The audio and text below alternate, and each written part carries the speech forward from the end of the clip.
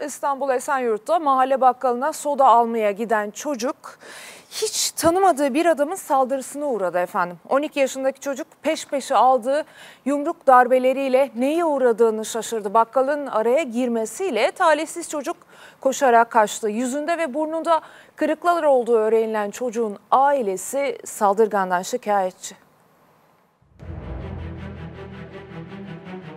Öyle bir şey yok ya. Yakasından tuttu, çocuk demedi, yumruk üstüne yumruk attı, acımasızca dövdü. Çocuğu bir suçu yok ya 12 yaşındaki çocuğu dövülür mü yani?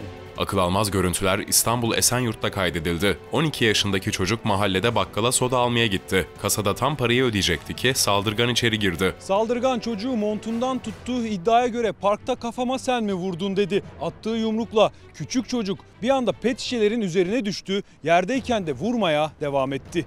Çocuğu bakkalda tutuyor yerde yere vuruyor ya böyle bir şey var mı? Çocuğu ağzı yüzünü kırmış abi. Ne ben çocuğumu dövecek yani? Ne sebeple yani? Bakkal sahibi kadın koşarak araya girdi. Saldırganın elinden kurtulan çocuk hızla dışarı kaçtı. Tanımadığım bir adam tarafında ya. Ağzı yüzü komple kırmış ya çocuğu. Burnu kırık, yüz kırık. Abi öyle bir şey var mı ya? Çocuğu zaten sakat kolunda ya. Yaralanan çocuk hastaneye götürüldü. Darp raporu alan aile saldırgandan şikayetçi oldu. Polis olayın ardından kayıplara karışan şüpheliyi arıyor. Abi ben büfeci de de şikayetçiyim. Kuru yemişçi de şikayetçiyim. Tanıyorlar söylemiyorlar abi kimdi ne çocuğumu dövüyor sebep?